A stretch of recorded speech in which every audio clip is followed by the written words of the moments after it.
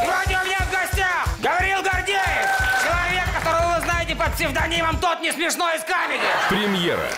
Последний выпуск. Как я и думал, таланта тут ноль. Ты начальник, ты директор канала, но это мое шоу, тут нет никаких авторитетов. Деньги или позор. Я лицо канала, а ты про бутерат, про всякую хи Ты лицо канала? Покажите видео.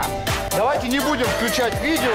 В четверг в 23.00 Я думаю, что мы закрываем не только тему, а закрываем эту программу. на ТНТ-4.